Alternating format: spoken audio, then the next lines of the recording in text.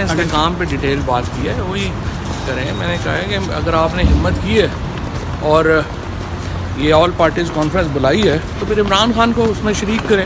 اگر عمران خان کو شامل نہیں کرنا تو پھر آل پارٹیز کانفرنس کا کیا فائدہ؟ ہے اڈیالہ کے دروازے کھولیں عمران خان کو بلائیں۔ سر دو گروپوں میں صلاح کروائی گئی ہے عمران خان کی طرف کوئی گروپ نہیں ہے جی گروپ کیا ہے؟ گروپ کیا ہے جو عمران خان کے ساتھ ہے وہ تحریک انصاف ہے جو نہیں ہے وہ نہیں ہے۔ ٹھیک ہے عامر خان عمران خان کے ساتھ ہیں اور آپ نہیں عامر خان عمران خان کے ساتھ ہیں اور آپ نہیں ہیں اس کا مطلب ہے آپ نہیں ہیں خان کے ساتھ۔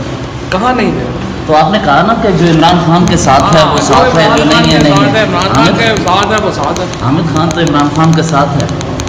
احمد خان صاحب پاکستان پورا عمران خان کے ساتھ۔ شبلی فراز بھی ساتھ ہیں۔ شبلی بھی ساتھ ہے شبلی کی لائلٹی پہ تو نہیں نا کوئی کوشچن کیا جا سکتا؟ اچھا۔ ان کی جو دیکھیں ہر بندے میں خوبیاں ہوتی ہیں خامیاں ہوتی ہیں۔ شبلی فراز جو ہے وہ بڑی انٹیگریٹی والا آدمی ہے لائلٹی والا آدمی ہے ویسے اس کا بلڈ پریشر اور شوگر زیادہ رہتی ہے۔ تو سیاست کے لیے میرا خیال ہے وہ فٹ نہیں ہے ورنہ تو ظاہر ہے بندہ تو بلڈ پریشر اور شوگر زیادہ ہو اس کا مطلب یہ ہے کہ تصحیق کسی کی کی جا سکتی ہے۔ کرنی تو نہیں چاہیے۔ آپ اپوزیشن چھوٹا اور کہتے ہیں بونا مولانا کہنا صاحب کسی کو- مخصوص نشستوں کی مخالفت کرتے ہیں تحریک انصاف کو دیے جانے کی۔ آپ یار وہ لیتے ہیں دیکھیں نا وہ ان کی لیگل اسٹریٹجی ہے۔ الفاظی جو ہے وہ بہتر ہونی چاہیے تھی۔ الفاظی یہ ہونی چاہیے تھی کہ جو سپریم کورٹ کہے گی ہم اس کے ساتھ ہیں۔ اگر آپ اتنی تگڑی مولانا نے پریس کانفرنس کی، اس کے بعد اس یہ کہنے سے جے یو آئی کو نقصان ہوا ہے نا۔ لیکن خیر اینی وے آج کا تو بڑا ایشو یہی ہے نا، جو آل پارٹیز کانفرنس بلائی ہے۔ تو میں نے آگے بھی پہلے بھی یہ کہا ہے کہ دیکھیں، آپ نے یہ بڑا اچھا اسٹیپ لیا ہے حکومت نے آل پارٹیز کانفرنس کرانے کا۔ لیکن آپ اس میں عمران خان کو بلائیں۔ اڈیالہ کے دروازے کھولیں اور عمران خان کو آل پارٹیز کانفرنس میں بلائیں۔ کیونکہ عمران خان پاکستان کے عوام کی بالعموم اور خیبر پختونخوا کے عوام کی جو بالخصوص جو آواز ہے وہ عمران خان۔ اگر آپ عمران خان کو بلا کے آل پارٹیز کانفرنس کراتے ہیں تو پھر تو وہ ورتھ ہے۔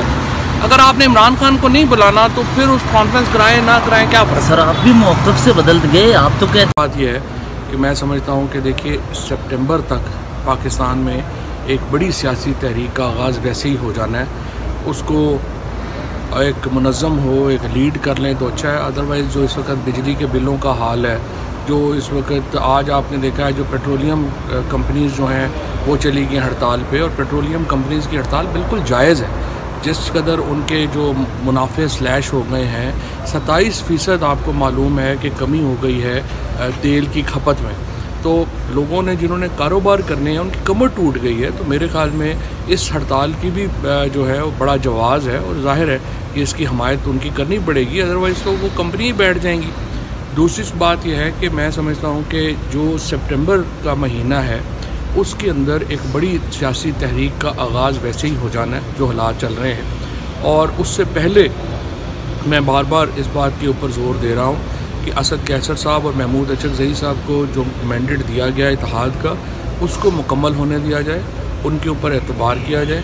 اور یہ جو ایک گرینڈ الائنس ہے، اس کو یہ جب بن جائے گا تو چیزیں جو ہیں وہ بہتر ہو جائیں گی۔ یہ آج حکومت نے درست قدم لیا ہے جو عزم استحکام آپریشن کے اوپر آل پارٹیز کانفرنس بلانے کی بات کی ہے۔ لیکن دیکھیے، پاکستان کے اندر جو پچہتر فیصد، اسی فیصد عوام ہے اس وقت، وہ عمران خان کے آواز کے ساتھ ہے۔ اگر آپ پولیٹیکل کنسنسس بنانا چاہتے ہیں، تو عمران خان کو پھر اڈیالہ جیل سے بلا کے آل پارٹیز کانفرنس میں آپ کو بٹھانا پڑے گا۔ اگر آپ میں یہ جرت نہیں ہے کہ آپ عمران خان کو بلا سکیں اڈیالہ جیل سے، تو پھر یہ آل پارٹیز کانفرنس کا کوئی فائدہ نہیں۔